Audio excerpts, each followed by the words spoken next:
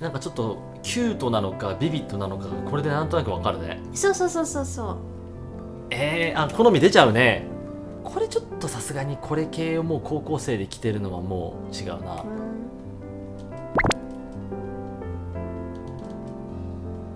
ん。悩むね。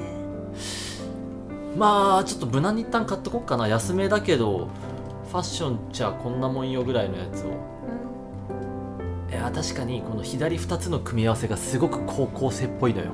うん。なんならあのゾーンのさシークレットベース歌ってる時の感じの服。うん。君と夏の終わりみたいな感じ、うん。つまりどういうことかというと、うん。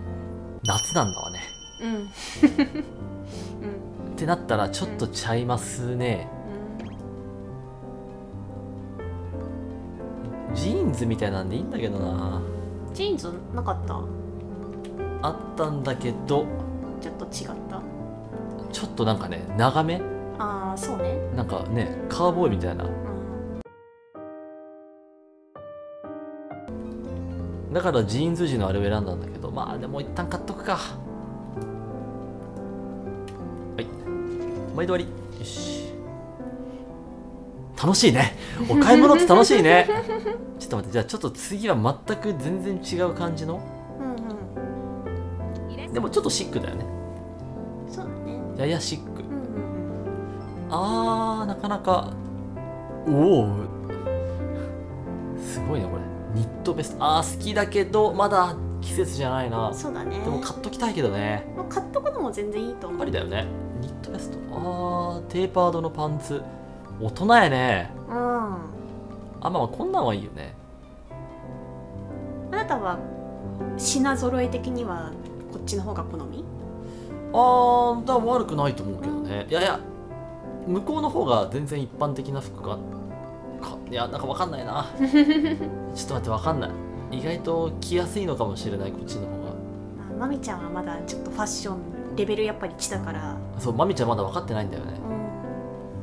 うん。なんかどの服を着ると防御力が高そうかとか この魔力が上がりそうかみたいなことしか考えられないんだよ、うん。あでもなんかちょっとやっぱ水着は違うね。こんな水着選べんよ。これはちょっと可愛すぎるでしょ、セーラー水着。でこれは色的にちょっとチャレンジしてるでしょ、ん。パープル。これにあこれは悪くないけどうんうんうん。高校生でこれ着てきたらちょっと確かに。すごいよね。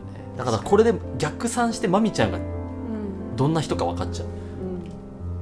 うん。このお店のいいところはボトムスはいいねうんトップスにあんまりハマりはしなかったけど、うんうん面白いねこういう服。うん。嫌いじゃないな。こんなん全然嫌いじゃない。うんうんうん。買っとこう。んうん。うでボトムスもうん。こっちかこっちは買っときたいな、うん。いいんじゃない？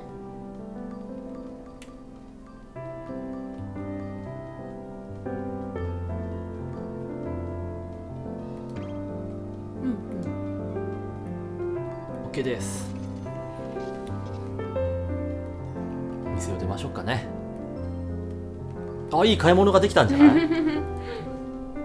ちょっと季節感というよりもうん。今後もこう着回せるみたいなう感